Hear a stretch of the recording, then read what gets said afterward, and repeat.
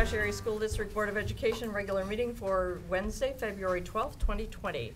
Has this meeting been properly noticed? Yes, it has. Please call the roll. Carlin. Here. Evans. Here. Garner. Here. Herzog. Here. Olmsted. Here. Peschel. Salachi. Here. We have a quorum. Wonderful. Uh, Tonight, we are privileged to have two students from Merrill Middle School, both eighth graders, Evan Brandel and Alicia Tlatelpa, to lead us in the Pledge of Allegiance. So I'll invite them to come forward and get us started.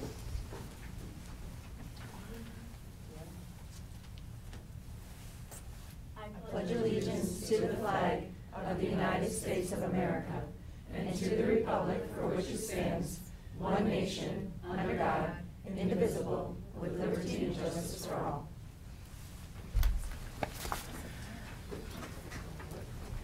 We are so glad that Evan and Alicia were able to join us here tonight because we always like to have students at our board meetings. And uh, we haven't had much representation lately from the middle school, so it's a pleasure to have you two take time out of your evening schedules and bring parents along to, to join us tonight. So we thank your parents for being here and we thank you for being here as well. We have a signed certificate as a tangible remembrance of your being here and leading us in the pledge. So thank you, Alicia, and thank you, Evan. Thanks very much. Enjoy your evenings. Thank you. Thank you. You're welcome to stay, but if you have other uh, activities tonight, we we certainly, we certainly understand. All right, we will move on to uh, board and administrative reports, starting with the board president report.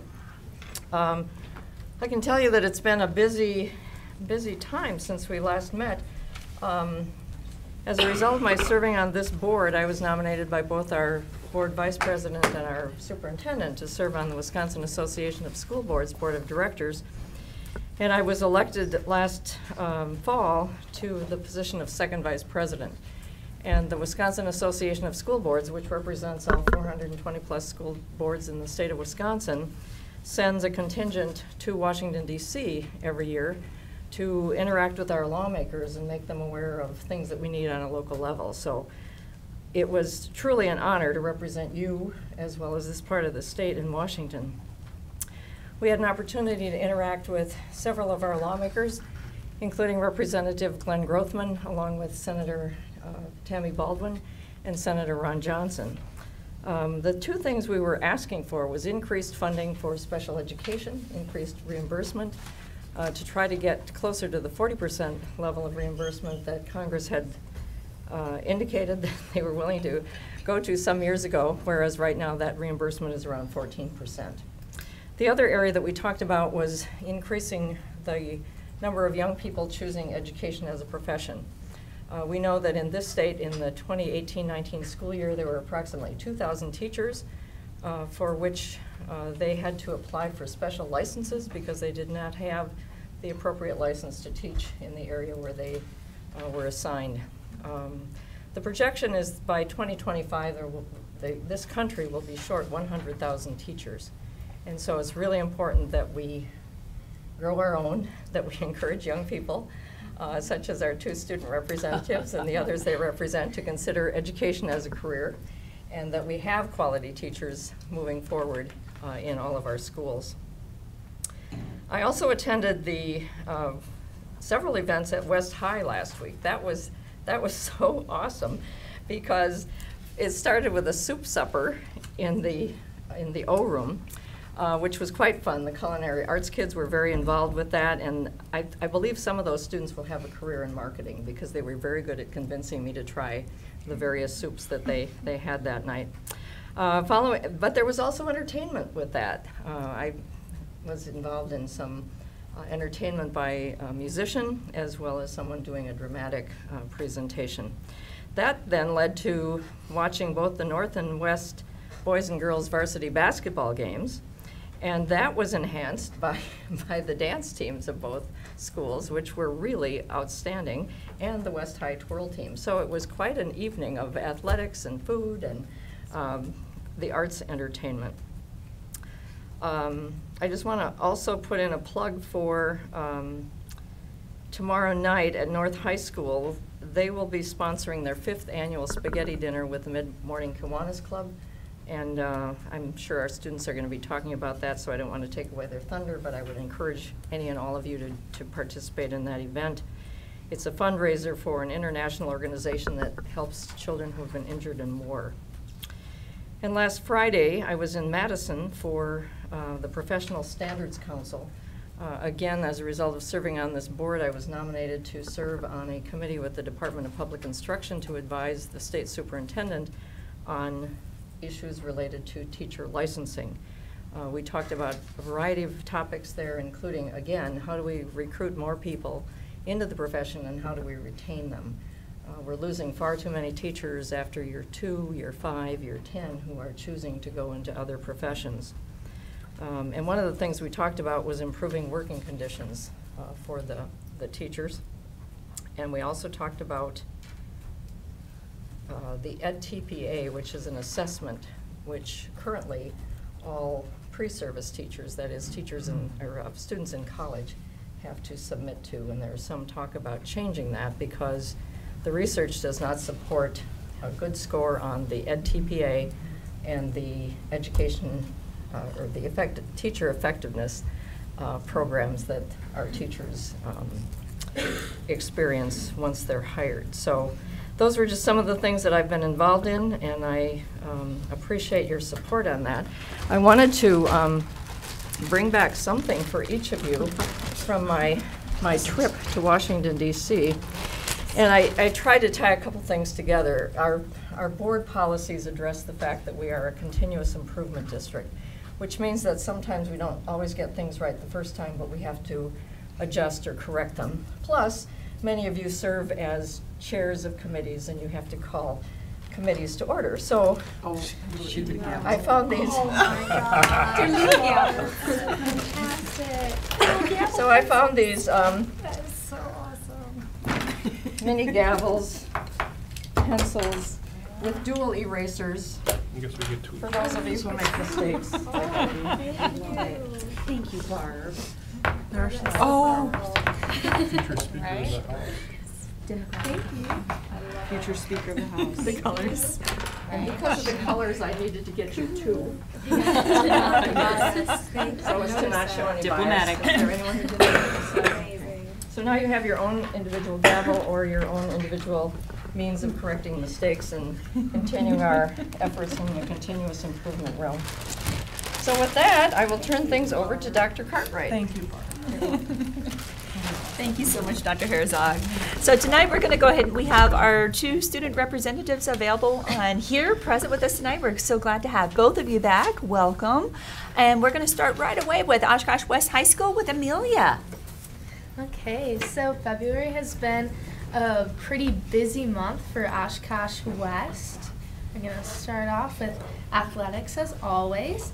The bowling team won conference. They're the conference champions, so that's very exciting. And we have quite a large bowling team, and it's very big in our mm-hmm. school. And the boys wrestling finished fifth at the conference, with Alec Hunter getting first, um, and he claimed his second FVA title. And then um, eight other West students finished in the top 10. Uh, boys basketball won against North at the in the doubleheader. It was a very exciting game, and they won 63 to 55. Uh, girls basketball had their senior night last night, and that was very widely uh, advertised since there was um, lots of events happening there, um, and it was the last game for many of our girls on the team. The Ice Hawks had um, a game on Thursday, February 6th, and they won against Shawano team, and their score was seven to three, so they were getting up there. Boys swimming had conference this past Saturday, and they placed fourth as a team. And Sam Blaskowski, he's a junior at West, he placed second in the 50 free. And that's very impressive since there is a lot of very good boys. Gymnastics got sixth place at the Whitefish Bay Bradley Invite this past Saturday, and they're continuing to have competitions throughout this month. I just want to give a thanks to uh, fans team since they are very, um, they get the student body going, and we had a lot of students at the game last Friday, and that was all because of them and their their advertising on social media.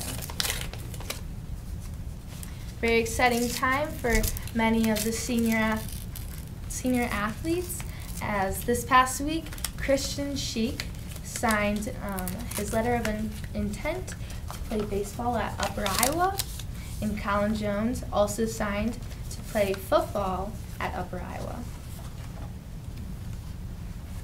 Dance team went to state this past month, so they they got third at sectionals, the competition before state, and so they went to state. And Jessa Nemeth was an individual who actually got D1 All State for um, the first time in West dance history. She's going to be the only dancer that has had that, and they're wanting to continue that tradition to have more dancers next year. And they did very well. Again, um, mock trial went to state, so lots of people going to state. And in these next few weeks, they're going to continue trying to improve their performance before the big competition. For music, uh, there was a band concert on February 6th, and mm, it was all of the bands, so half the um, music department was there. And musical, the musical Sister Act happened from January 23rd to the 26th. And actually, there was a lot of school shows that happened before that too during the week. And you could tell many of the kids really enjoyed it, especially when the two main characters kissed. They went wild over that. um, and in the choir department, contemporary a cappella groups are currently being created. And this is different from the past since there has only been vocal jazz groups. Last week we had Snow Blast, and this is a week of fun where the fans group um, they put together these a competition between uh, all grade levels where you make a team of 10 people and you compete for points in doing silly activities and then whoever wins gets t-shirts and gets the title of winning snow blast. So monday we had the waistline challenge the height challenge and the basketball challenge. Tuesday we had the log saw snow bowling and log toss. Wednesday we had tug of war and pyramid build. Thursday we had gang sport and bo- boardwalk and Friday we had make your own sled and sled down Garbage Hill, which was very exciting. Here's some more pictures.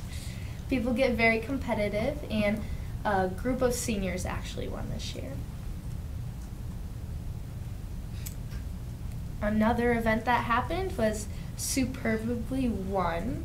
So it was an event trying to get um, showcase all of West's talents and it was actually before the doubleheader um, basketball game.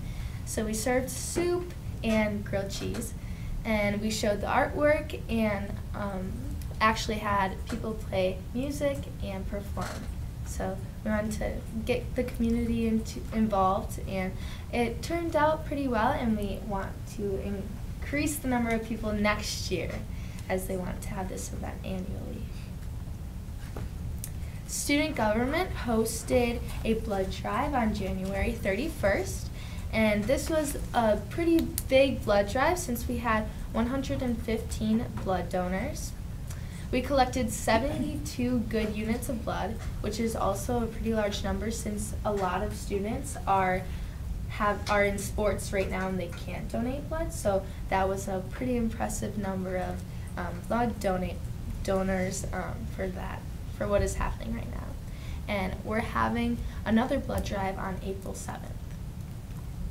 So we hope you have a great month, and we'll see you next time.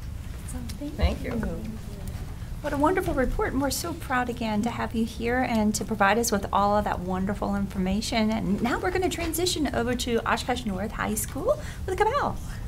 All right, so there's a lot that's been happening and there's more to come in February, but there's only so much that I can share when stuff hasn't happened yet. Um, so for um, February so far and for the past events, we had a Super Bowl just a couple Fridays ago, and we raised over $900, and that goes towards the Ann Davy Fund at North. And if you guys don't um, know what that is or aren't familiar, it basically is a, um, a organization that helps purchase items for those students at North that aren't um, able to purchase them for themselves. And that could be like bus passes, um, like backpacks, duffel bags, and things like that. Um, but it was very successful since this was the first time we did a soup competition because the past years it's been chili. Um, so we were pretty proud of what happened. And then just recently we had our Valentine's dance for our students with special needs and um, students from middle school from middle schools and high schools participated in this and it was a really great outcome as usual. And for sports, um, our dance team got 10th place at state with their hip hop routine. And that's the best that our dance team has ever done in school history, so that's super awesome. Um, for boys swim, they got third at the FVA meet and they will be competing in sectionals soon. Um, wrestling got seventh place in the FVA conference and they have regionals this Saturday. Uh, basketball is going well for both boys and girls. Girls are still looking for their first win of the season, but they are also looking forward to the last couple of games. Um, hockey is also doing pretty well, and they are, um, are starting regional play on the 18th, which is just next week. And bowling for boys are going to state. They did pretty awesome, and they are doing really well. So we are really proud of them this year. And Dr. Herzog mentioned about the spaghetti dinner a little bit, but um, the Communities One students are partnering with Mid Morning Kiwanis and Anara this year to host a spaghetti dinner to help um, fund for Anara to support those students who have been affected by war, whether that be that they're refugees or they have injuries. Um, but please come and support. It's tomorrow, 5 to 7. It's for a good cause, and even if you don't want to stay for the food, I mean, just buying a ticket would help them as well.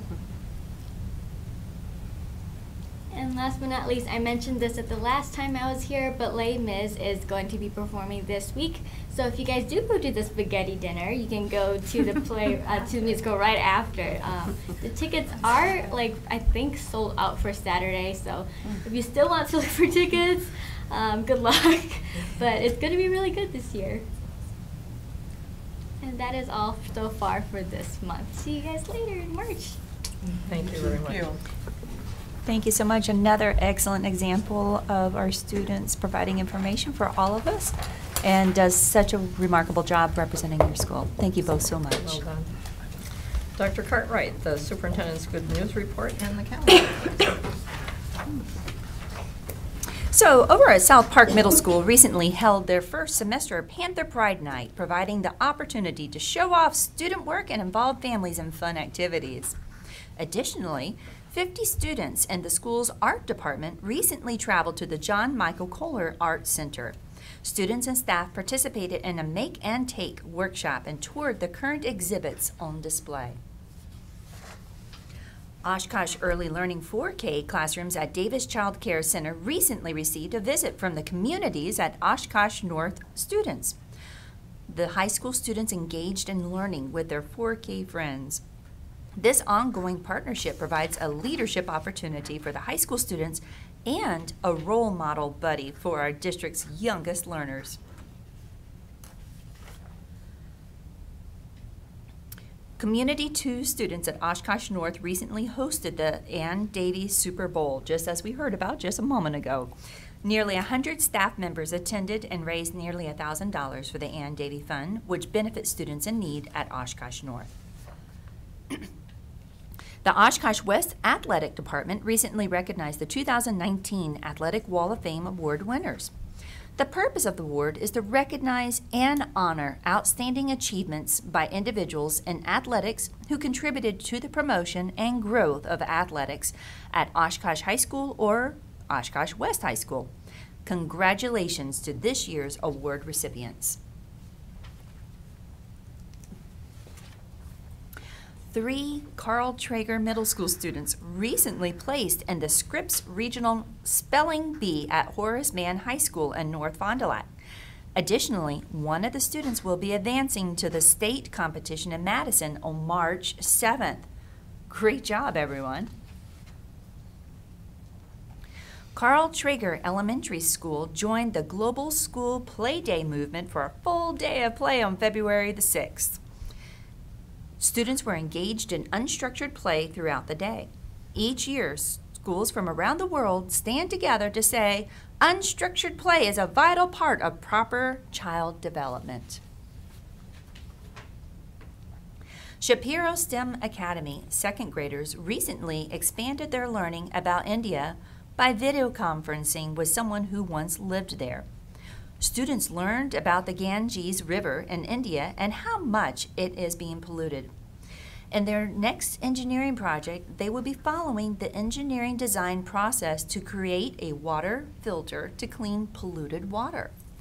During these lessons, students will be researching different ways to help stop water, land, and air pollution.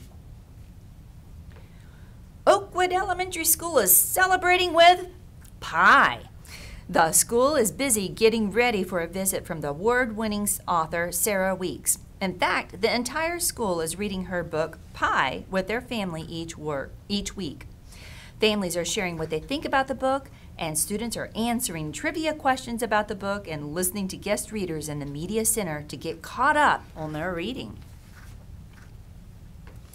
Emmeline Cook fourth and fifth graders had a blast at Dr. Eric's Skate Club. Most of the students have participated in a field trip to the skate club at least once a year for the last three years. Some many more times than that with their participation in the lighted schoolhouse. Thank you to Dr. Eric for continuing this tradition for our students year after year. As superintendent, I remain committed to being present and engaged in our schools and throughout our throughout our community. As you can see on the screen, there's just a few examples of where I've been spending my time. I'll point out one of the um, activities was um, actually a, a, trip with the American Education Research Association. Uh, this would be in our governance meeting, and I'm very happy and grateful that I was able to get to Florida and actually make it back from Florida, given all the complicating weather factors to that. So, uh, but again, being out in their schools, seeing many of our students in actions and our, our teachers and what they're doing on a day-to-day basis is truly the heart of a lot of my time and my visits, and I'm very gracious for those opportunities. With that, I will turn this back over um, to Dr. Herzog. Thank you, Dr. Cartwright. Uh, next, we have District Administrator Supplemental Reports. Do we have any of those this evening? No, ma'am. All right. Then we will go on to uh, Board Committee Chair Reports. And I know Mrs. Olmsted is eager to uh, share. So we'll start with that. It's a short one. Um, on Monday, this last Monday, we met for Policy and Governance Committee. Um, the, we only had one thing on the agenda, and it was Policy 7440, Facility Security. Um, Mr. Jones informed the committee about necessary updates to the policy due to the changes with the door security system starting in mid-March. The new system, Raptor, will require every person visiting the school to swipe their ID prior to entering the building at the main entrance. Students arriving after the school day begins will be required to scan their ID as well. The system is linked to a national database that will do a background check on the visitor and alert the school if there's any issues. The system takes a photo and prints an ID for the visitor if the background check is clean. Staff will be trained on the system in early March. Communication will be sent via media blasts, and then the information will be included in school newsletters in advance of the implementation. The decision was made to start this program now versus the beginning of the school year so that added security is in place, so that are all acclimated to the change sooner rather than later, and so that it is not another new item at the beginning of another school year. Um, so this will be coming back to us to um, vote on this agenda or vote on this security, facility security policy. And when it does, um, when we come back, I think at that time, when it's finalized, we were gonna ask, um, Mr. Jones to come up and, and talk about it, just to tell what it is and explain a little bit more of the system, which is really, really, really cool system, so we're really excited about it. So that'll be at our next meeting. Um, and then our future meeting will be March 9th at eight thirty AM. That's it. Thank you very much, Mrs. Olmsted. Does anyone else have a board committee? Yes, I do. As promised at our last uh, board meeting, I'm going to give the legislative committee meeting notes that met on Tuesday, January 28th. Um, We had a special guest join us. It was um, Representative and Minority Leader Gordon Hintz. And the bulk of the meeting was basically a conversation with him, um, getting his perspective on what has happened in Madison the last uh, term and what might happen in the future. He said currently, they have the fewest number of days that are being spent on legislation and the fewest number of bills are being signed. The legislator is scheduled to meet three to four more times, then they will be off until January of 2021. Um, He talked about, um, if you've been following the news, you found, heard that they found some reserve money at the state level, and they were just trying to decide what to do with it. And Governor Evers, Evers has uh, asked for a special legislative session to deal with education uses for that money. But I found out today that they did their gaveling in and gaveling out, so they didn't even discuss anything. We discussed uh, various viewpoints on proposed legislative items. The committee made suggestions on possible changes. For instance, uh, providing a separate line on the tax bill listing the cost of voucher schools to private school and private schools allowing for more public awareness. Um, And then, once uh, Gordon left, I gave a very brief legislative update and a report on our uh, state education convention in- that was held in Milwaukee. And our next meeting is going to be on February 25th at 8:30 in the morning. Thank you very much, Mr. Evans. Does anyone else have a board committee report tonight? All right, seeing none, um, we move on to the non-agenda related public forum. There was no one who signed up for that. Next agenda item is the agenda-related public forum. No one signed up for that, so we move on to workshops. The Facility Advisory Committee consolidation recommendations with Dr. Gunlock and others.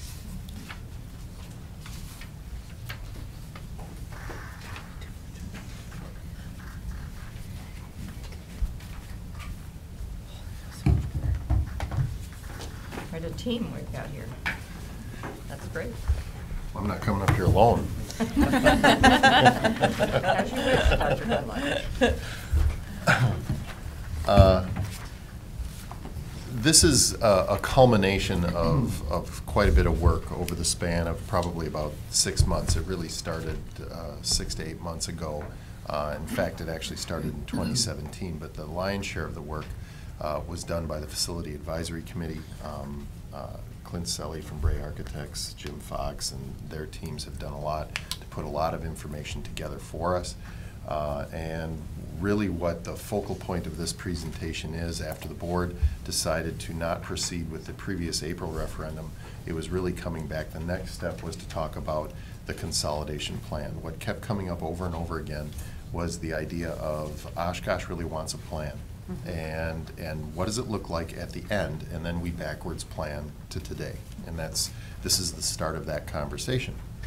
Um, starting with the history and the background, and I think I'll turn that over to Clint to talk a little bit about uh, the 2017 uh, analysis study, so.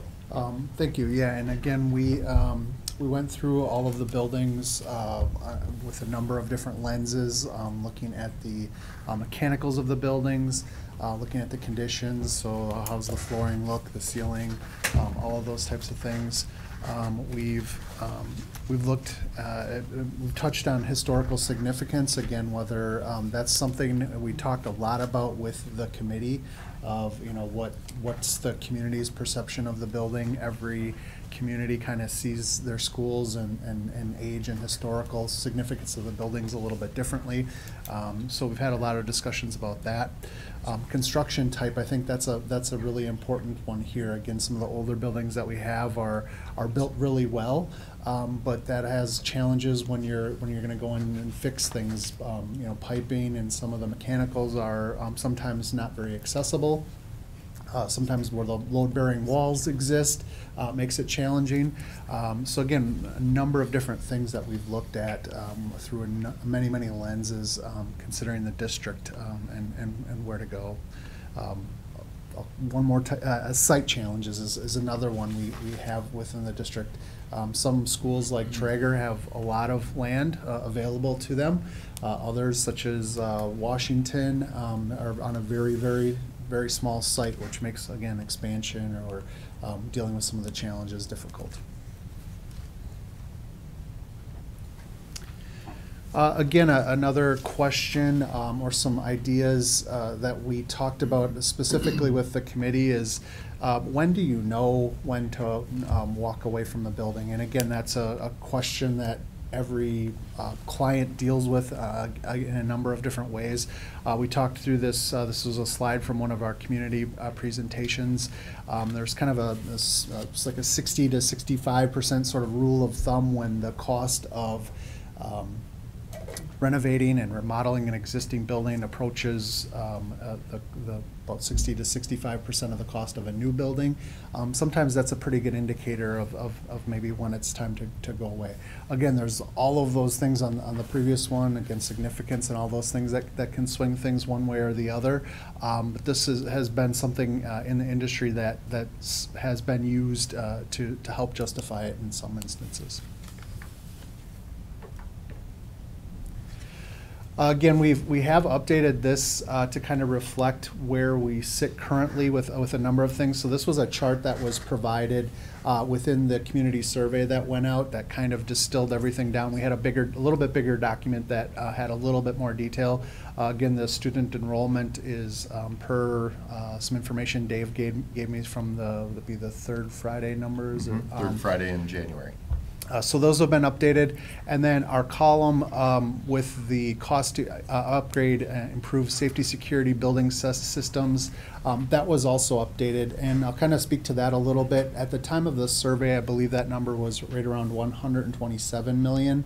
Um, Going through the committee process, as we looked at the uh, safety, security portion of that, we were really kind of challenged to find uh, means and methods to um, to, to, to more cost effectively look at that. So we went through a several different rounds of, of um, looking at the plans for the safety security. Do, did they all require additions? So you'll, you'll notice kind of the, the change to the 116 there is really because we took a lot of some of the additions that we were originally planning out and tried to be a little bit more cautious with how we were approaching uh, the, the usage of that. So that kind of speaks to that slide. So the Facility Advisory Committee, uh, and and you've heard this because I've given you the facility updates, so this is really probably more for people watching, but the Facility Advisory Committee used the following uh, criteria.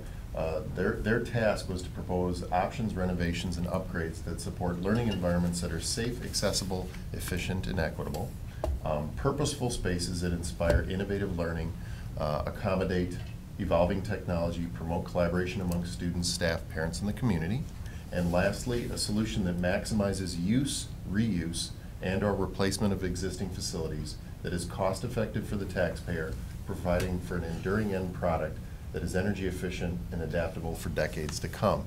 And if, if uh, history is any, uh, you know, guide to us, those decades to come could be 10 decades to come uh, as we use our facilities.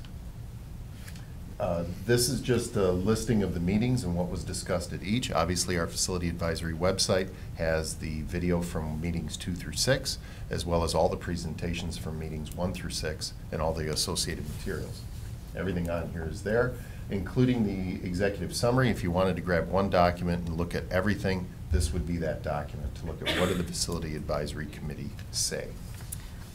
So this was a slide from the last presentation. This is sort of the recap. Um, What the Facility Advisory Committee said was commit to long-term consolidation efforts, adopt a long-term pathway, and they would recommend pathway B, which we're gonna go over this evening. And that would move us from twenty facili- facilities down to fourteen. Pursue a capital referendum, and number four was engage the community further regarding proposed phase one middle school and elementary school. Go ahead. Uh, Board, if you will check your email very quickly, you will have access to the updated version of this right now, so that way you can follow along with us. Uh, If, so if we can pause just a moment Sure so they can. can do that, thank you. Thank you, Dr. Cartwright. Thank you. We were looking. Excellent, got it. And we're on slide 10. I'm good. Mhm. I'm good, I got it. The information is, it's just in a different order. Got it. Mhm. Okay. Yeah, it was still all there in the Yes, draft. So, yeah, yes. it's- Thank you. You're quite welcome. We just want to make sure that you can follow along with our presentation. So when you look at these recommendations, they were broken apart into main recommendations and additional recommendations. And uh, what you'll notice is, there we go, um, three and four we've kind of merged together, because given the direction of the board from the last meeting, um, mind you, the Facility Advisory Committee was still thinking that we were going to bust apart Phase One.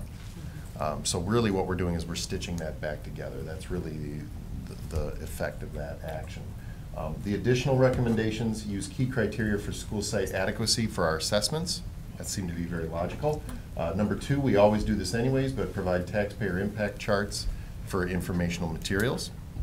And number three, include playground equipment within project scope. I was at uh, um, Merrill Elementary, Merrill Middle, Webster Elementary, Webster Middle, speaking to each group today, uh, as well as Roosevelt. I talked to a team there. Um, The, the interesting thing was, when I was speaking with Webster Elementary, and they were talking about the potential idea of getting a new elementary, guess what the first thing they asked was? Does that mean we're gonna get a playground? And I said, well, one of the recommendations that I have gone on record and said is my personal favorite, probably, it's also the cheapest one, is uh, include playground equipment within project scope. And I said, I, I, I really think that's something that, uh, whose time has come, and that's certainly one of the recommendations, so. Absolutely. They, that, that, that drew a cheer amongst the crowd, just so, so it's a crowd pleaser. You would think it would be a no-brainer. Right, like Lakeside, when we did the addition. Yeah, it's just- PTO. Yeah. A lot of districts, I mean, at lea- uh, the districts I've worked in, that always seems to be the thing at the end, and it always seemed kind of silly to me that we would go ahead and build a brand-new school, and No.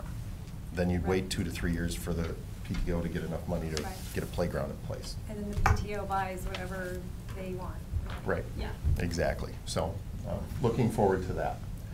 So, uh, one of the things we wanted to talk about, and we did change the, or this is the order change, we, was when we talk a little bit about bo- benefits of modern facilities. You know, we've been talking efficiency, three to four track, eight to 10 track. From a staffing perspective, that, that is a, a very logical benefit. But there's also a lot of other instructional benefits, there's also some aesthetic benefits, and there's also some uh, uh, learning benefits to having a modern facility in terms of flexibility. So I'll turn that over to Clint, because he has some pictures of, of what some of these facilities could look like. Sure, and um, so, yeah, so tonight I, I kind of talked to Dave, I said there's sort of two different methods. I can maybe show fewer pictures and talk a lot, or uh, sort of a sensory overload and show a whole bunch of pictures.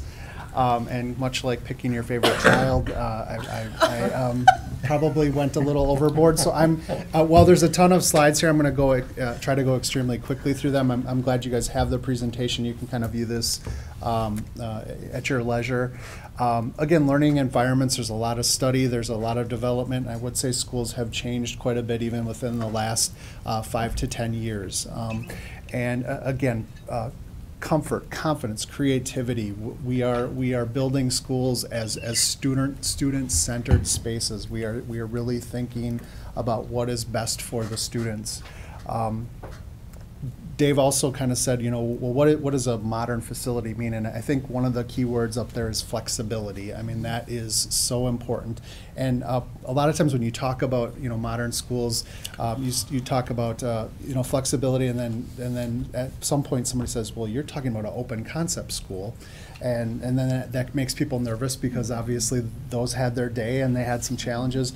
But the, the, you, you sort of almost start with the principles of that, but you have the ability to, you know, compartmentalize and you can go from big to small. So um, that's kind of that, that part, part there. And then again, supporting students and educators who benefit from visual cues, ownership, pride, and opportunity for independence and collaboration. And I would say next to the word flexibility, then the word collaboration is kind of the other really important thing of modern learning, that we are giving these kids an opportunity to work in small groups, work in big groups, uh, work independently, and, and um, giving them the spaces they need. The other thing is he goes through these, what I would, what I would ask you to think about is think of the modern workspaces that adults are in today. I think you're gonna find they look more like this. Um, we don't just build a school and then ask the teachers uh, to live and, and work in it. Um, architecture doesn't shape what, how we're teaching. We really need to listen to how you want to teach and then make the architecture respond to that.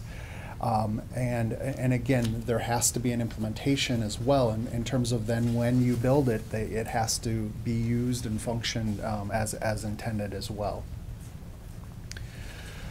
Um, Again, a lot of different things to think about, evaluation, understanding. We've kind of been in the existing conditions part of, of this uh, little chart up here, facilities assessment, kind of understanding use. Um, Again, you'll see delivery of curriculum is really important, and I think as, as we set off down this next path, it's really important that not only what is our path, but, you know, what do we want to achieve, and, and how do we want uh, students to learn and teachers to teach in these buildings. So again, real quickly, um, these, those first set of slides will be kind of collaborative learning uh, spaces. I'll just flip through them uh, really quick. If there's, if there's one in particular that you're, uh, want, want a little more elaboration, I'd be happy to share. Just real quick story here. Um, Hallways um, have always kind of been where we've sent kids for taking tests and things like that. Um, Giving some opportunity that those can be environments where students purposefully can learn. There's access to windows and they can be seen and there's furniture to support how they, they learn. Uh, Again, another example of a hallway as a learning environment. Um, The openness between the spaces, I think, um, didn't Oaklawn have some of these types of doors or am I? Similar. Yep. Yeah. Um, furniture is so important. This is a great example of kind of that professional environment and professional look and feel. But that's one thing you're going to see as we go through these slides is how furniture has really uh, come to support a lot of these spaces. This is an existing school where we just added a skylight to get natural light to rooms that do not have it. It's an interesting because I've toured this school uh, four or five times since it's been completed. Every single time there's students out in that space utilizing that hallway. Um, great space. And I think it's really important also to highlight just a little bit that we know that there's a lot of research out there that's related to ha- the ability to have natural lights and students um, where they are for their mental health as well. Yep, great point. Yep, it helps reduce tardiness, it helps to, uh, the, the wellness and, and sicknesses. Um, this is a great example, we created a collaborative space, um, in a new building, so this was a new building. And then when it got time to remodel an existing building, they wanted a similar space. So again, making sure that there's equity between when we are, uh, have the ability to, to build new versus when we are, are left in an existing space. Again, I talked a little bit about scale, so this is just a little alcove. Again, some students like a bigger space, some kids like to, you know, t- curl up with a book in a corner and, and, and utilize that space. That's my favorite. Yeah, that's my favorite too. Absolutely. Uh, this was a, a classroom that we removed to create, again, within an existing building, to create a collaborative uh, learning environment. Uh, this is your neighbor to the, the south, North Fond du Lac. A great story here is we went through a whole branding effort. The, the elementary school is, uh, they kind of refer to it as lands of learning, so each grade level is known by a continent versus a grade level. Uh, libraries, again, um, forever have been the hub of, of schools, but, you know, again, um, how we're treating them, how we're um, utilizing them, the, the books, while still important, aren't always the most important thing with, within the libraries and where we do have books, a lot of times they're on wheels and they're able to be moved around and, and the whole look and feel of, of the space is able to be changed, uh, at, hopefully at a moment's notice.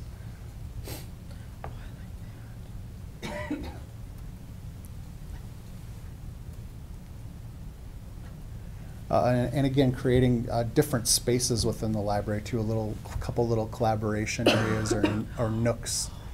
Uh, again, this is a great, great example of the flexibility. Oops, what did I do there? Oh boy. Now we gotta start all over. I know. So starting over, today we're going to talk about I think we were on the forty. Slide 39. Thirty-nine. Yep, uh, Thank again, you. the I think the flexibility, uh, yeah. Um, On the right-hand side is a corridor. This space is kind of a, a multi-use space. It could, those doors could be open, it could be part of the corridor. Um, The doors could be closed on the right, opened on the left. It's part of the library, or they both are closed and it's a, a professional development space. So we just try to create a lot of different spaces um, um, to, for, for kids to utilize. Uh, STEM STEAM Fab Labs, um, again, this, this is working its way um, through all uh, levels and all grade levels. Elementary example, um, where, where that's being, uh, that curriculum's being implemented. Uh, Again, visibility, these, the tech ed spaces, STEAM STEM have traditionally been spaces that have been kind of tucked down a dark hallway. I know when I went to high school, I had no idea what was happening down there. And then you see the cool stuff and you're like, why wasn't I, why wasn't I in that It class? scary down that hallway. Right. And, and now we want to put these spaces on display. We want to show kids what's happening in there, the, you know, robotics, uh, um, the, the CNC machines, the routers, all of that equipment is, is interesting and, and, and trying to encourage kids to participate. Um, so these aren't spaces anymore that we want to, to hide away. This example, um, that window you see in the back there is actually out to the cafeteria. So this, um, model was set up as this is the design lab, there's a fabrication lab in the back corner, there's a testing lab back there, and then they come back to the drawing table. So that's all on display from the cafeteria. Uh, Again, where some districts are lucky to have wonderful uh, local partners um, who um, help finance a a project or finance equipment within the project, let's put it on display. Let's make this noteworthy. Let's make this something that hopefully, again, people are excited about and, and the partners um, have some recon- recognition of, of, of their efforts. Um, Nursing is also, in the biomedical fields are becoming a an important part and need to be considered in schools.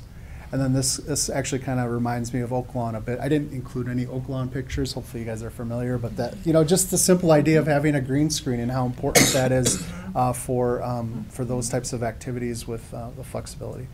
Finally, community spaces, again, our schools are not just schools, they're, they're the lifeblood of our, our neighborhoods and areas and, and communities. And want to make them either reflect the community, again, this idea was the, um, we were emulating a, the town square in East Troy. Um, um, That's a reused uh, gym floor on the steps there. Uh, Again, powerful graphics to, again, convey um, hopefully the, the message of the school. Uh, Great cafeteria space, again, supporting the public areas as well as the school during the day. Cafeterias don't all look like cafeterias anymore. They um, uh, almost kind of resemble, you know, college unions, if you will. Uh, The furniture is, is flexible and, and it can be um, used as, in a number of different ways.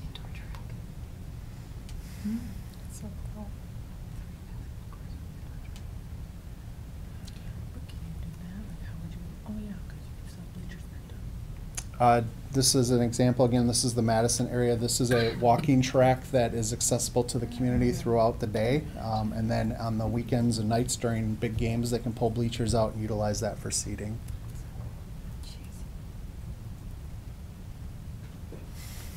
One beach. Hey, Clint, I have a question, or actually, Dave, do we have this on, can, is this gonna be on the public? Mhm. Yes. Okay. Yes, yeah. I just and- don't think that, I don't think people understand, or even maybe know, what other schools really look like, what other Right, districts, outside of what they really have. I was just gonna say that. I don't think they have a clue. Like, Mhm. I think when your kids get in high school, you know, because you travel a lot with your, if your students are in sports or music or things like that, you travel to other school districts and you see those things. But if you don't, I mean, these, to look at these pictures, um, the elementary schools, I've never seen any of the pictures of those. I've seen all the high schools because I've been to a lot of them. But the elementary stuff, you know, you don't travel to different elementary schools. To see those, it's, it's almost like you're looking at this and honestly, in my head, I'm like, oh, that'd be really cool.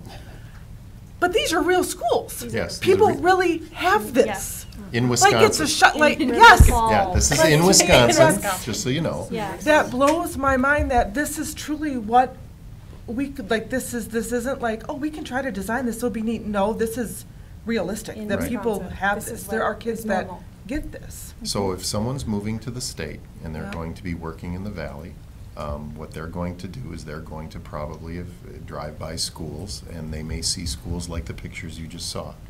Right. And um, that is going to impact their decision on where they Because choose it's to a live. better learning environment. Yes. Not because it's more, I mean, it is prettier. You know, I mean, I love our schools, I love all of them. I have, obviously, I've stayed in, I volunteer for Oshkosh. I'm always here and I've never moved. Mm-hmm. But, you know, I've raised all my kids here. But what I'm saying is, is, is that these environments are better for learning, the, the views and the natural lighting and the open mm-hmm. concepts for, you know, those space areas and the flex areas and kids. And it's just not only appeasing to the eye, but it's also such a good environment for the children to be mm-hmm. in. Well, no, Mental it- health, all of it. All, of- and in addition, we have opportunities, because we hear from our local businesses and saying, you know, we, we want students, uh, we're not, we don't have enough individuals who have the right mm-hmm. skills that are necessary to come out from, from high school and to mm-hmm. gain, you know, we're having to do a lot of training outwards. Um, so now we have opportunities as we go forward, potentially, if we're looking at, um, a redesign of our schools or rebuild of our schools, um, to open up those conversations and partner with some of our local um, industries and saying, just as we saw where they have a whole lab, you know, like a fab lab, and, it, and it's sponsored by uh, um, partnership partnership businesses, and the children, our students get the training and the skills that are necessary, so when they graduate, they're ready. Um, or they're ready, or they're more ready to be able to go, maybe go to a tech school and, and get some certifications related to that, if they didn't get it in high school. Right. Um, so there's just so many different opportunities. So I would put what our teachers do up against any school district in the state. Absolutely. Absolutely. Mm-hmm. And wi- o- in Oaklawn's case, the exterior of the building matches what's occurring on the interior. Mm-hmm. In a lot of our buildings, let's take Merrill as an example, that is not the case. The amazing things that are happening inside of those walls, you, ca- in, in most cases, people looking to live and move, and live in a community might not look or take the time to figure that out. Um, So I think that's partly reality. The other part of it is, we're dealing with a hundred and twenty-year-old building that has, you know, uh, millions of dollars of needs that would, and even if we went ahead with that, we'd be doing things like tuck pointing roofs and putting in elevators. While that is, that is certainly, tuck pointing is exciting now that I know what it is, um, it's, it's, it's not something that the building to the n- naked eye is really gonna look any different than it is mm-hmm. today, and you're still gonna be dealing with a hundred and twenty-year-old facility. So therein lies the discussion that the Facility Advisory Committee started having, mm-hmm. and the real question in their mind was, where do we start, where do we get on the merry-go-round here? Do we, mm-hmm. where in Oshkosh do we begin to address it? And it seemed to make a lot of logical sense to go for Merrill as sort of the beginning moment for this discussion. Number one, we have small, very small middle mm-hmm. schools. And, and the idea of right-sizing the district would allow us to provide more student supports. At the same time, we'll have, to be able to take advantage of greater efficiencies. At the same time, we'll be able to have facilities that look like what you just saw. So that seemed to be a really nice logical way to begin.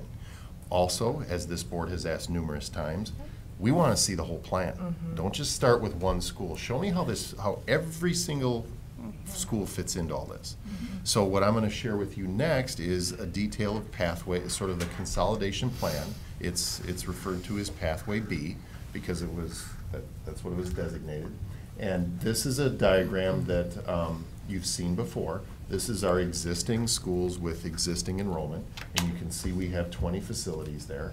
Um, and we've broken it out a little bit on the west side and north side because we're gonna be focusing phase one more on the north side.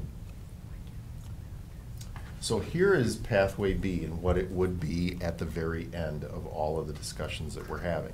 And you can see there's a bar across the top that shows phase, uh, phase two, three, one, and four. And we're gonna focus on phase one, obviously, because that's where we're gonna start. But in a sense, what would happen in phase one is we would have a new Merrill Middle School. And mind you, uh, we're not even sure if that's what it would be called. It's just a new middle school on that site, okay? Um, There would be four elementary schools, Oaklawn, Reed, E. Cook, and a new Webster Elementary School, once again, a new school on that site. And then, of course, existing North High School. So that would be the area covered by Phase One. So if you, the next slide actually shows that in a little bit more detail. And obviously, all of these will be available on the website. And this shows pathway B, but it shows phase two. Now, this is on the west side. Uh, In this particular phase two, improving South Park becomes the anchor. Just like improving Merrill becomes the anchor on the north side, improving South Park becomes the anchor on the west side of the district. So there would be uh, five elementary schools, Oakwood, Traeger, Franklin, Jefferson, and Lakeside. There would be two middle schools, Carl Traeger and the new South Park Middle School, and then obviously West High School. So that would take us down to 14 facilities. That would be about the right size for a district of approximately 10,000 kids. Yes. Can you explain to me why Franklin is split between school, two schools? What does that mean? What is Uh, that about? It's, it's just about uh, how, the- how the, excuse me, how the boundaries will work out. And again, we, I don't think we've fully vetted out how that would look. But just in terms of right now, um, the schools do kind of feed in. There was the possibility there that just Franklin by nature of where it was, the fact that it's, uh, picking up, I believe the, a good chunk of the Roosevelt population. So there, there might be some, some split. And, and we haven't fully fi- fi- figured out how that boundary is going to look. Um, So with Lakeside too, they would have some going to Traeger, because we still have Green Meadow students getting bused all the way to the south, so that's probably in there Most too, likely, that would involve a boundary redraw. I mean, Okay. right now, that's something we talked about even before any of this. The fact that Green Meadow drives past Traeger often and goes And to Lakeside. buses, Yeah, yeah. I- I, we probably would clean that up when we do the, the Makes more boundary sense, changes. It just make more sense for. But it wouldn't stay that way. So those kids, we would redo that boundary and there would be Traeger kids and Lakeside kids. And then Lakeside kids would go to South Park and Traeger kids would go to Traeger. Mm-hmm. Correct. But this is different. This is Franklin, these kids going to Franklin Right, Elementary School and then in fifth grade splitting. So when we do this, there is going to be an opportunity to redraw boundaries with each phase.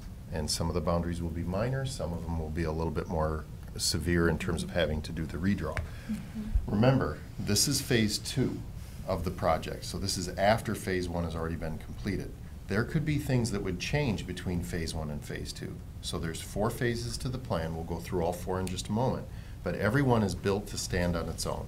And everyone is built to be looked at at the moment we take a look and make adjustments based upon where our population goes. So if all of a sudden population increases, some of the lines may shift. If the population decreases, the same thing might, might occur. So each one has its own flexibility built into it. Now, phase three and four is relatively simple. One is the, the replacement of West High, and the other one is the- either the remodeling or replacement of North High. Um, so those are pretty cut and dried. But for phase one and two, they're meant to be flexible. Because even if we, once we're done with phase one, that's the most accurate at the moment.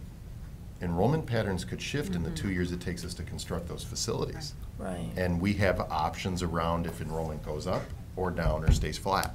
Right. We've, we've taken all of that into account. And at those times, we can relook at You bet. certain things because I, I, I'm leery on splitting up a school at fifth grade. I would kind of- recommend, I would strongly recommend you do not draw a boundary until that school is darn near Until we're close to done. completion. Right, Because exactly. th- that, because we want to pull the most accurate data at that moment. Moment, okay. And we learned a lot when we redrew the boundaries for Oaklawn, mm-hmm. Right, so. okay, thank you. And Dr. Gunlaw, can you explain a little bit, because under each school name, not only is it list, listing a projected enrollment, but there's some other language up there that our, our community may not understand. Sure, like some of them talk about safety and security, though that might be some, some remodeling changes or just some interior door changes.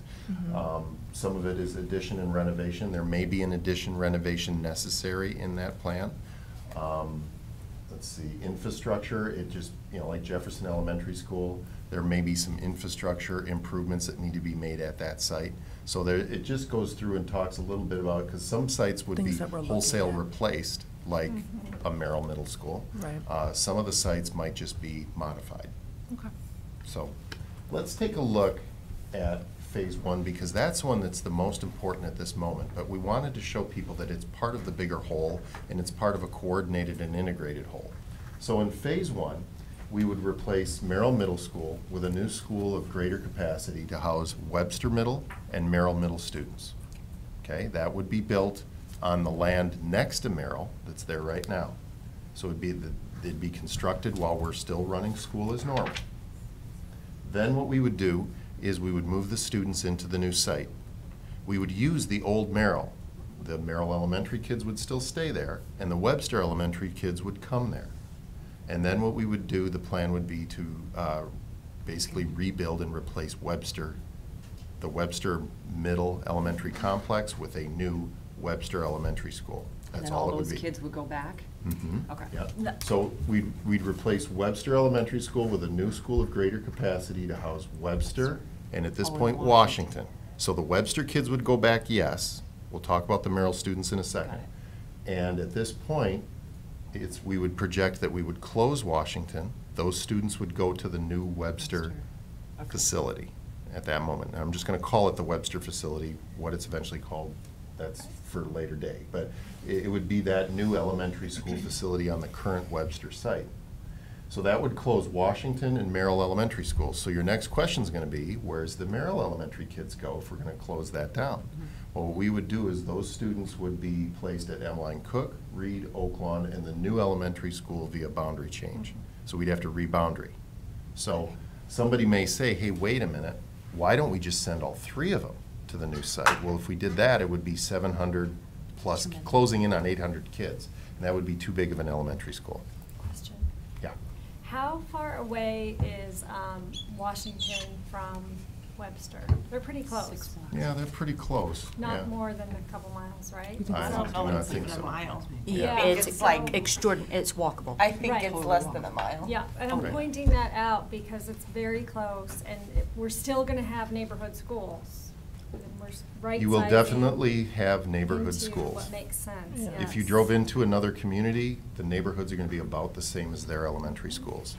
The advantage of this is the fact that we are going to be able to more properly staff our classrooms.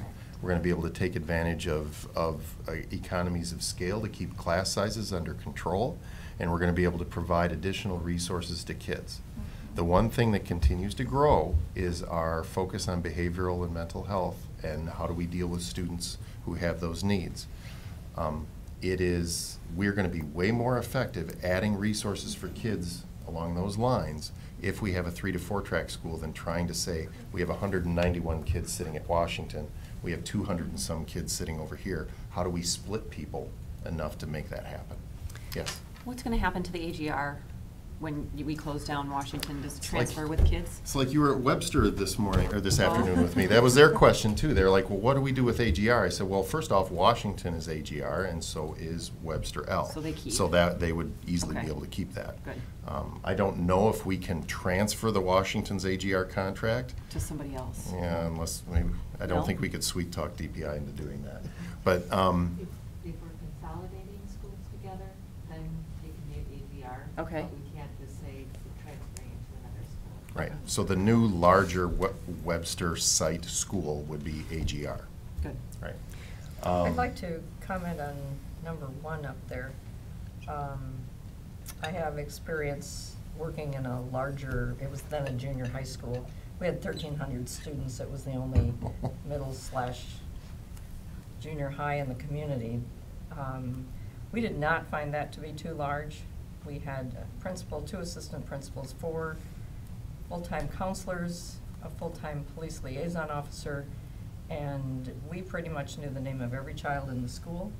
Through what we called care teams, we addressed the needs of students who either moved into the community or had issues in school, and then did follow-up from week to week. So did we miss some students? We probably did, but we made a concerted effort to make sure that as little of that took place as possible.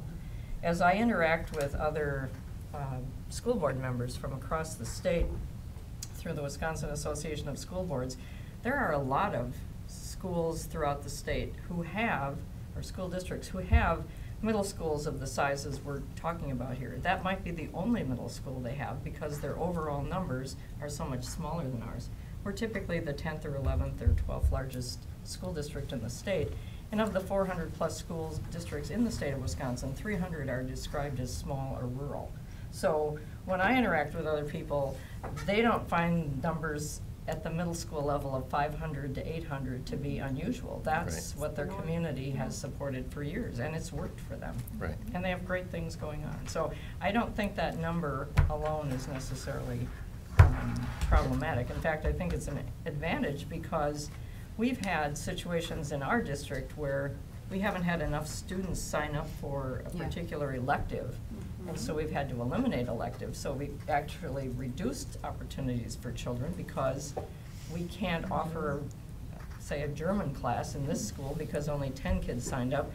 Fourteen signed up over here and twenty signed up over here, but that's not sufficient to support a staff member um, going among and between those schools. So I think the opportunities would be on the rise rather than on the decline.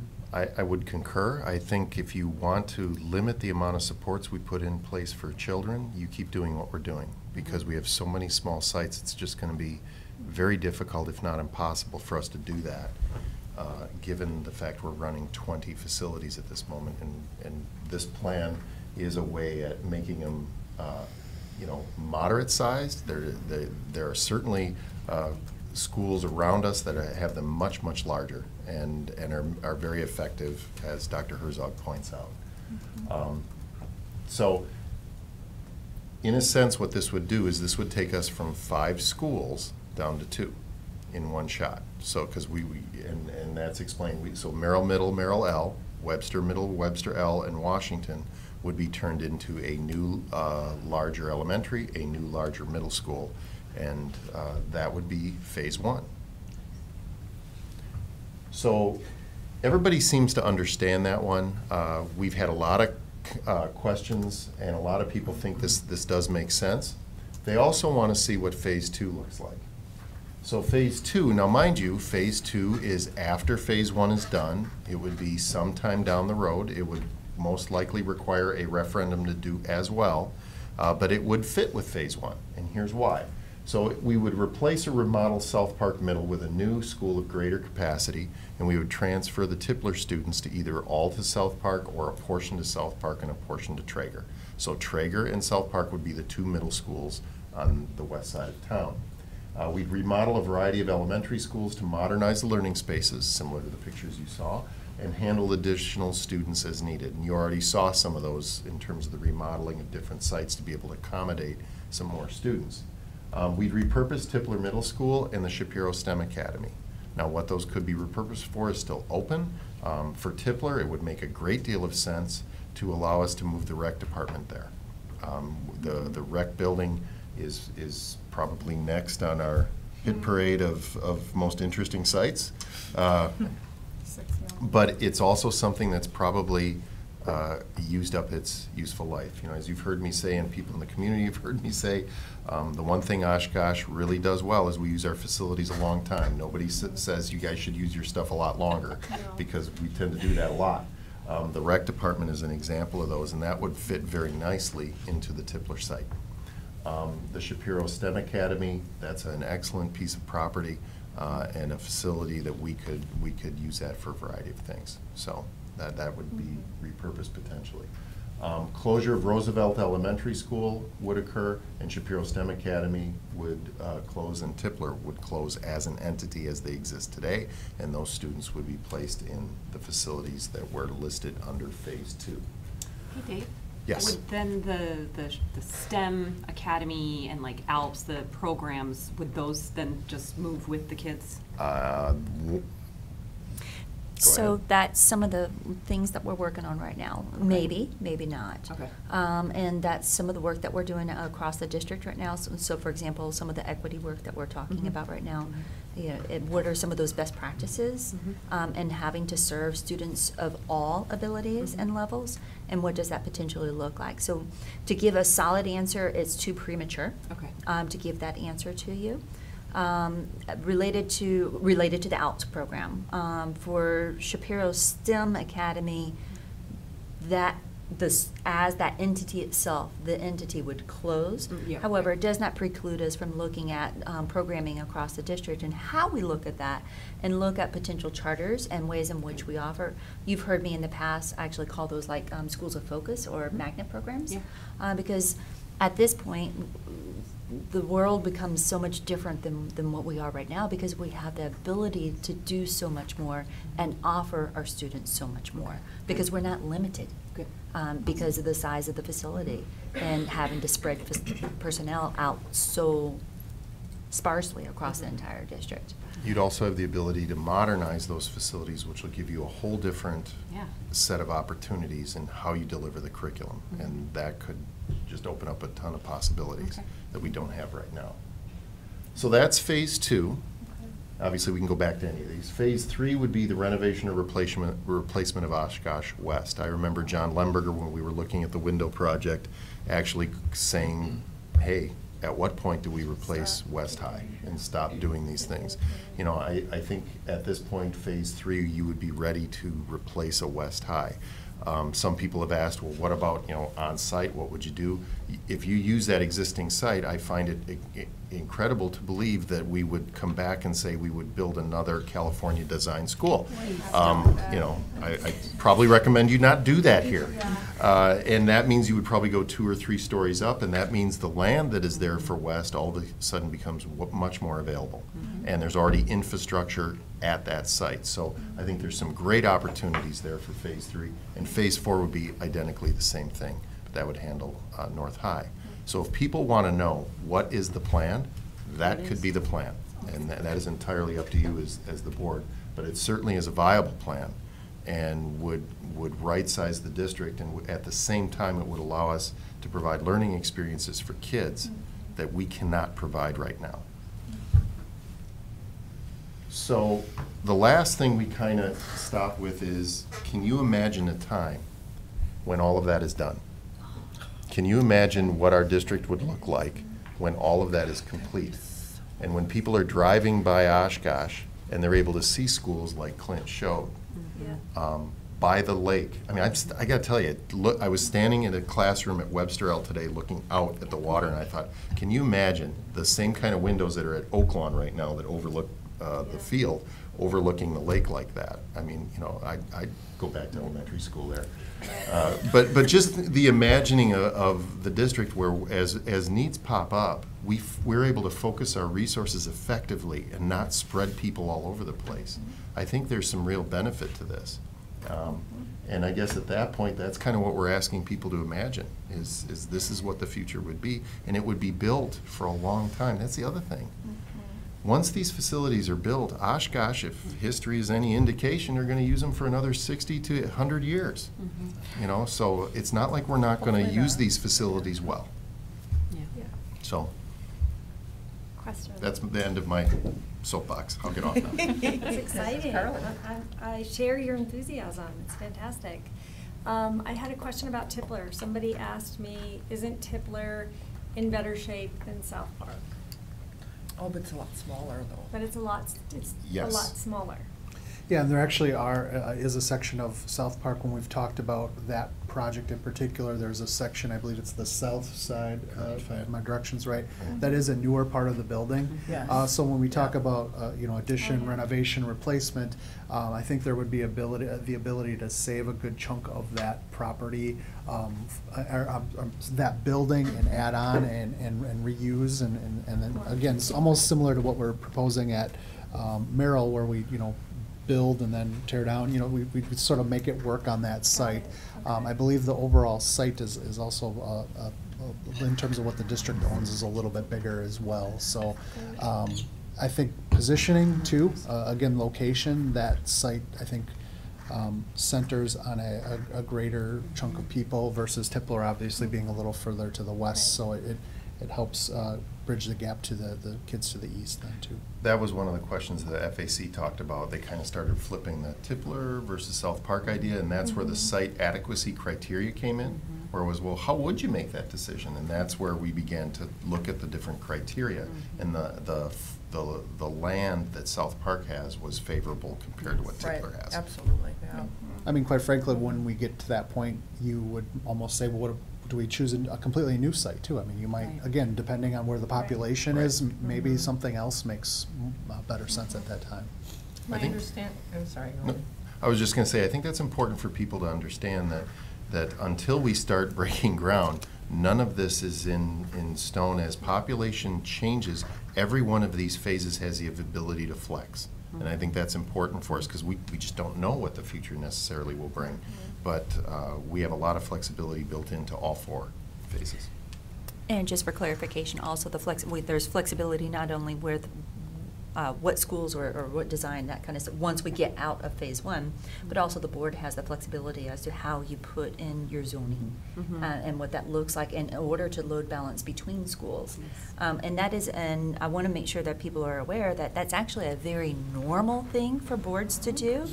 Um, If you look at some of our, our school districts around us, for example, Appleton, because they would be comparable in size to Oshkosh, they are looking at their zonings very regularly, and, um, yeah, at least on an annual basis. Um, Whereas I know we have not necessarily, um, but we haven't had a reason to. Mm. And now we're, we're getting to, the as we proceed forward and our community um, supports us with this and, and we go forward, now we have reason to really start looking at that. So even when we're looking at Merrill Elementary School, old Merrill Elementary School, what does that look like? And we gave a few schools as far as the option is concerned, it's because where do the students live? And what makes sense? Uh, Does it make sense to cross over the, the current boundary of, um, Oaklawn in order to get to um, E Cook or to go, Mhm. go over to the new uh, potential Webster element, you know, whatever that, we want to call that site. So these are things where the board has some, has ability to navigate and, and to ensure that we do the appropriate load balances. Because when, as, uh, to Dr. Gunlott's credit, as you build a facility, the population shifts. We saw that occur They with come. Oaklawn. And Lakeside. Absolutely. And Middle. Lakeside. And Lakeside, the addition, yeah. So what's on us, on us as a, uh, or or on you as a board is, as we, as we're seeing that, and we have the most recent information, before we solidify, you know, this is who's going where, really take a look at that and make sure it's the right decision for the right children at the right time. Um, and, and doing that, but it, it does, it will require that, that there are gonna potentially be some of those boundary changes. Um, We have to. But again, it's to get your optimal use, um, so that you can provide the optimal services and supports and, and educational environment for our students. So, Dr. Gunlap. No, I, uh, we, we actually have changed our boundaries more than once since Oaklawn opened. Um, they've usually been very small changes. I think the one we've talked about was the Lakeside Green Meadow boundary, starting to look at that, because that would be logical to do. But obviously, if we're looking at this, we want to make sure we're, we're, we're understanding where we're going to be at that point in time. So uh, it's very normal for districts to redraw on a regular basis. Right. With regard to Tipler, my sister was in the first, I think it was the eighth grade class when Tipler opened, and I recall conversation at the time that the hallways were made, I mean, it was all up to code, but they were specially designed narrower, the ceilings were shorter, and the stairwells were pitched differently to, Mhm. to preserve space. And so, in talking with principals at Tipler over time, they've expressed some concerns about the stairwells because of, because of the way they're pitched. Yes. And students falling or tripping and, and that sort of thing. So, um, I don't know that that same issue exists at South Park, but I know that that was the conversation, um, about Tipler when my sister was a student there, going back to when she was a student. She's not a student there now. I'll make that perfectly clear. So, I do want to commend administration and um, the Facilities Advisory Committee, because in my history in the district, I don't recall a time when there's been a long-range plan of this magnitude uh, to look at facilities in the district. And I'm not faulting anyone, I'm just saying that's, that's how it's been. But I think there have been members of this board in more recent years who have encouraged the board to imagine or imagineer or to look at ways to move forward and be more forward-thinking about planning for the future. And um, I believe we have the administration in place to do that, and we also have the wisdom of the Facilities Advisory Committee, which was a fairly diverse group to assist with that. So I just want to thank all of you for the endless hours, and Clint with, um, with Gray and Associates who have done so much to get us to this point today. So thank you all. One comment. Did you have- Go ahead. Well, I was just gonna say thank you again and- and echo what Kelly said about um, high schools in different areas. Clint, did you guys do River Falls by chance? We did not, no. Okay, well, I was recently, I'm a wrestler and a basketball player, so I spent all weekend in gyms, and I was at River Falls last week, and they have a beautiful facility. And it- it looks like the ones you showed us with the flexible spaces, and if you're gonna spend eight hours at a wrestling match, it's really nice to have that space as opposed to our high school, we don't have anything like that. We don't Mhm. even have a gym that we can host a wrestling tournament or a basketball tournament, because it's not big enough, right? So this is exactly what I've been looking for, some sort of plan that will get us to align our facilities with what is out there, because we are um, definitely in need of some new buildings. So thank you, thank you, thank you. I think this is a fantastic approach. the last thing I would say is, is uh, this isn't just about building new facilities. Remember, there's $116 million in need of our old facilities that would largely go away if we started modernizing and replacing them along this path. So that's the other thing that, that I think it's important for people to understand, is there is no way out of this spending nothing. Right. You know, we have to either maintain existing, or we have to replace and remodel some existing. Um, i- It certainly seems like this is the right time to do the latter. And given the, ec- the economic outlook breakfast, there was some fascinating information that the Chamber of Commerce shared, that the economy of Wisconsin is very strong. It's projected to be very strong nationally in, in Wisconsin for the next 10 years. So, you know, when people always say, when is the right time? Economically, i- it is a very favorable time. Um, That, that is not always the case when districts have to do these sorts of things, so. Does anyone else have any questions or comments? I have a little. Go ahead. I'm so Nope, you go first. Um, I have one comment. On slide five, the building cost benefit analysis study, up on the top it says 2017. Can you, before this goes, or can we edit it? If this is on the, if on, you know, on our website and people can go see this, can we put someplace that these are updated numbers? Because everybody that looks at this would think this is 2017.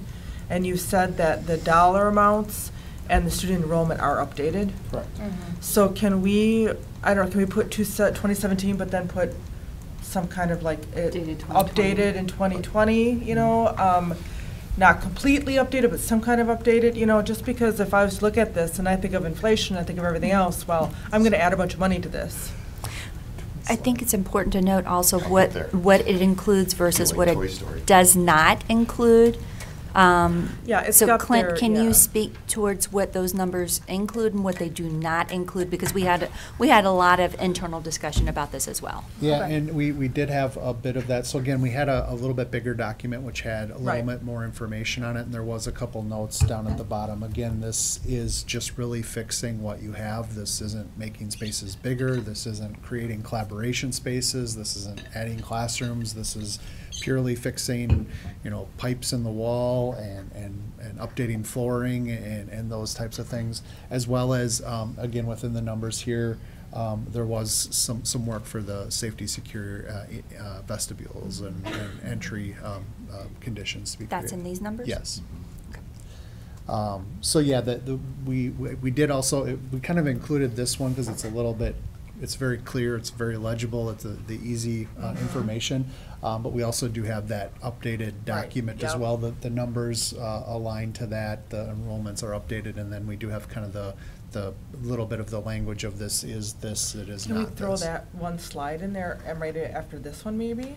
So that it's all, you know, some people can actually see and have the right information, like this is included, this is not. Mhm. This is where we're at, this is the enrollment. Yeah, we can certainly do that. Okay, thank you. And just for highlighting purposes, Mhm. it, by replacing the five schools that we're, that we're discussing, that takes twenty-four point seven million dollars right off the top. So maybe put that on there too? Mhm. You know, the more information, because this is, people aren't gonna watch this as much, they're just gonna go to our website and read through this. Yep. So the more information, I mean, this is high level because you're here to explain it to us, but for them just to have little things like that, like if we do, you know. And, and we'll do it in, typically in the past, we've done it by modifying some slides, which I think your suggestion is great. I think we should do that, but also we end up throwing that into some frequently asked questions. We actually ask that question. Okay. You know, what is included and isn't included in here? And why Right. wouldn't we spend that money? And, you know, Yep. some, you, you go ahead and answer some of those suggestions, but I think Dr. Cartwright's point is, is the real salient one, the fact that there's, there's twenty-four million dollars that comes off the books if we replace, if we go from those five facilities to two new ones. Yep. Right off the top. And you get a new. So in a school. sense, you, you, Yeah. you, you fund the elementary school Mm-hmm. completely, just by s- Mhm. what you don't have to do. That's a good good one. talking point. Write that down. I'm right, I am right, I did, I am, I'm like, that's a great talking point. I have another question. Mrs. Salaji, I think you might have been there. Yeah, um, so I was just gonna point out that obviously this will cost the community, right? We've talked about the referendum, I think the survey said it was about a hundred dollars a year on a hundred thousand dollar home. But I wanna point out that it also will get us money back, because like Ms. Carlin was saying, going to those communities where they're able to host big tournaments, those things you have to eat while you're there. Some people stay the night, you know, they go Friday, Saturday night. Everybody stays the night. I don't know. I only have elementary kids, Yeah. so I'll get there. I'll get so it boosts And then the you whole split, too. community. Economy, Yeah. right, it's a very good point. So we'll get money back as well. Mhm. And something Dr. Gunlock said is it'll attract people to live here too. So I think when we Yeah. talk to people about the cost, because I'll admit that a hundred dollars um, is feels like a hefty price tag when you're living paycheck to paycheck. But when you think about the boost it'll be for the whole community, for the jobs, for the people living here, it's just gonna it's gonna pay back. Um, the other thing I wanted to talk about a little bit was those elementary school pictures. Um, seeing the kids reading in the little like cubby spaces just melted my heart because Right? with small children, um, Could you imagine just- their faces walking in? Oh right? Despite having these big couches and you know beanbag chairs, the things we have at my home, sometimes my children's favorite place to sit and read a book is the laundry basket. Like that, right? Like that's. And they're so cheap. I We could buy a lot of laundry baskets. Yeah. They're not barcode. Right? Yeah. Oh, darn it. You can't put kids in laundry baskets. But um, the last few years, the last two years, I guess I should say, my two elementary students, they are, so this year they're first and third graders, their teachers have used flexible classroom seating. And I will admit, I was skeptical of that at first, like, because I taught middle schoolers and it's hard to maintain kids, so you're gonna let these elementary kids have flexible seating, like, that was sketchy to me. Um, but it's so successful, and so when I see those elementary school classrooms that are actually designed to allow that, it's really exciting to me, someone who was a skeptic. Um, because what my kids' teachers are doing now is they're making flexible seating in a classroom that was built in 1950 that was designed for rows of desks, and they're changing that and making it flexible seating. And I just think it would be wonderful to give our teachers buildings mm-hmm. that are designed for the way kids learn now and the way that we should be teaching them now. Well, we, we we talked, just to speak on that a little Yeah. bit, so we talked a little bit, we talked about the playground equipment, how that sort of seems to be an oversight. Uh, For a long time, furniture was also kind of the oversight. Yeah. So, um, it, you'd get to the end of the project, and if there was money left over, you would maybe have enough to do a couple classrooms, and, you know, you wouldn't, uh, and we've, we've just learned as we've designed these spaces how critically important the furniture is to make, making the school and the spaces successful. So we really go out of our way to make sure that that budget is, is in the project, it doesn't get touched by the construction, and that way at the end of the project. And so some, you know, similarly, maybe there should be a point four on that slide that these will be, you know, fully furnished as well, you know, uh, again, that's really important to making them function correctly. The, the other thing I think it's important to remember in terms of the taxpayer impact is that um, right around the turn of the last century, there were citizens in Oshkosh who paid money out of their paycheck to build Merrill Middle School. And those people who paid that money back then, I'm sure it was just as steep for them to pay that at that time. And, and what an amazing story if they knew we'd still be using that building 120 years later and having a conversation of how do we, how do we take that legacy for another chunk of time? Probably, I wouldn't recommend 120 years, but how do we, how do we take that legacy and extend it? Because there were people who came before us who are not here anymore, mm-hmm. who paid a, a lot of money in their dollars, out of their discretionary dollars, to put the 20 buildings that we currently have in place. Mm-hmm. And I think most of them are probably not here, but they can rest easy knowing we've used every ounce of those facilities. And then some. And I just was noticing in the 1950 decades, we built, or the citizens of Oshkosh built Wow. five schools Right. in the 50s. The Wisconsin Association of School Boards will be celebrating its 100th anniversary next year, and they've asked districts from throughout the state to supply them with pictures of old, what they call old schools. When I told them we are using schools in this district, it brought the conversation to a halt. But what I should have added was, we have many people to thank for the condition of our buildings, Yes. which we are still using, Yes. and which are not only safe, but are excellent learning environments. But the message was that many school districts do not have schools of this age.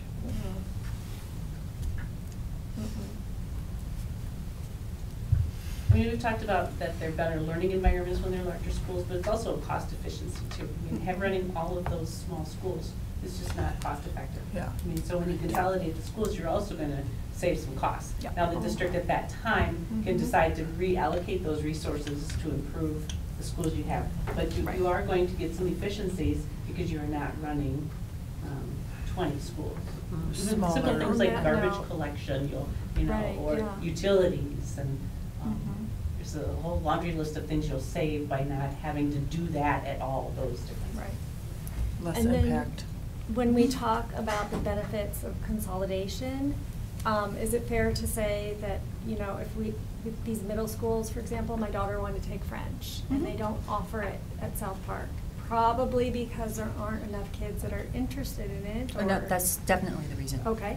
And so would it be fair to say that we could maybe bring back some languages to our middle schools when we consolidate? And that would be a big benefit. That, well. is one of the, the actual benefits. Um, So when Dr. Herzog was saying that there's 10 kids here, 10 kids there, so for example, there's 10 students maybe over at Webster Middle School that's interested in some foreign language. Right. Um, And same, then there's 10 other students maybe over at Merrill Mhm. Middle that have an interest in that same language. Mhm. Currently, we will not offer that language because there's not enough students to justify Justify a right. teacher To or a afford it, yeah. position um, in order to provide those services. Mhm. Combined together, now you're getting to that threshold of, hmm, maybe we should offer a section, if we can find a Right. teacher bilingual, maybe all- who speaks multiple languages, um, to be able to teach that one language. So ideally, you would want to, that's just an example, but it happens in so many other fields as well. You, you, when you're looking at your arts programs, when you're taking a look at your world language programs, when you're looking at your technology pro, your, your tech programs, it impacts so many areas of opportunity for, our- for our children. And that's why I asked, because I think when we talk about this plan and consolidation, um, that are so many benefits that we need to make sure that we communicate to our parents and students and teachers. It's gonna be, it's a great thing for us. We can offer more programs, we can save money. So, um, you know, I just challenge all of us to talk about, this is gonna be a fantastic thing and share Dave's enthusiasm. Mhm. So, Share the pictures, too. and share the pictures. The pictures are- We'll have lots of pictures. That's what I said, those pictures are very compelling. I think that that's, um, that is an easy avenue to make people look at it differently too. You know, that if you show those pictures, that this is what we could have. Like, that's not like a, this is a dream, like some of this can happen. No, those are real schools. I mean, that just blows my mind. In that- Wisconsin, like you said, like And those are Wisconsin, schools. yeah. And districts around us, like North Fond du down the Lac. road. Right. Mhm. Yeah. We've not heard from our high school Yeah. representative. I don't You know guys if you'd like think. to weigh in on this, or if you're still um, in awe of everything you've seen tonight, but I'd like to give you an opportunity to share if you so desire. I liked the pictures a lot. Those Yeah. were very interesting. And um, traveling to different high schools and like other schools for sports events and all of that, um, I can say like we definitely are on the lower end mm-hmm. Mm-hmm. of high schools and like not saying that our learning or anything is Right, it's like the that. facility. Yeah, the Yeah. facility is what is holding us back, I guess you can say, but the learning is just so amazing at all of our schools Right, and yeah. for people to come here and maybe be turned away by like what the image of our district is, then it's kind of sad because we have so much to offer. Yes. Well said. Thank you for Absolutely. sharing. Very well said. Val? I just think that like the pictures can be very persuading, and um, to those families who might be hesitant to kind of be in favor of this idea, but yeah, I think it could, it's just kind of surprising to me that like schools in Wisconsin look like that, and like knowing that it's a pretty close district, like I never knew that, so I think that'd be so cool just to like like in a couple more years, I could see that that's possibly Oshkosh. I just think that'd be so amazing. Thank you. It's good, it's always good to hear your voices and your weighing in on, on mm-hmm. these things. Are there any other comments or questions at this time? Well, I thank you for being here tonight and all of you contributing to this presentation, and we'll look forward to this coming back, I believe, in two weeks. Is that correct? Yes, ma'am. Okay. Thank you again. All right, thank you. guys. All right, our next agenda item is, is a request for future agenda items. Does anyone have any items they'd like to see on an upcoming agenda? Are there any announcements? Don't forget the spaghetti dinner tomorrow night at North High, five to seven. And uh, the North musical performance at the Grand, um, February 13th through 16th. And if you haven't gotten your tickets yet, you might, that might be a good idea. Any other announcements? All right, we will adjourn then to executive session. One, considering the disciplinary data of specific persons under section uh, 19.85, paren 1, paren F of Wisconsin statutes. A, review expulsion recommendation from an expulsion hearing officer for a high school student who engaged in conduct while at school or while under the supervision of a school authority which endangered the property, health, or safety of others, and endangered the property, health, or safety of any employee or school board member of the school district in which this- the pupil is enrolled under a section 120.13, paren 1, paren C, paren E of Wisconsin statutes. D, deliberating or negotiating the purchasing of public properties, the investing of public funds, or conducting other specified public business wherever competitive or bargaining reasons require a closed session under Wisconsin statute 19.85, paren 1, paren E. A, Oshkosh Education Association, OEA negotiation strategies. B, Oshkosh Paraprofessional Employee Association, OPEA negotiation strategies. C, non-teaching employee association, NTEA, negotiation strategies. And D, purchase of property. So moved. Second. Please call the roll. Carlin? Aye. Carlin, aye. Evans? Aye. Evans, aye. Garner? Aye. Garner, aye. Herzog? Aye. Herzog, aye. Olmsted? Aye. Olmsted, aye. Peschel?